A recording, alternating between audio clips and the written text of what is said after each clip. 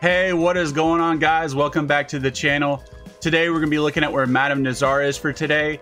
She's in a different location, you know, she's not in the more familiar ones we know her, she's always at. So I'm to just pull up on the map and I'm to show you where she's at today. And she is right here south of Thieves Landing, uh, southeast of MacFarlane's Ranch. You can fast travel into there, be the fastest way, or try to set up a camp over in this area. But she is right here where this road bends.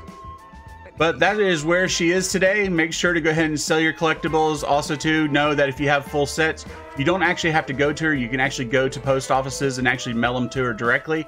So if this video helps you out, I'm sure it will. I appreciate if you like to share this video with your friends. Also to subscribe and click the notification bell so anytime I have videos come out, you get notified right away.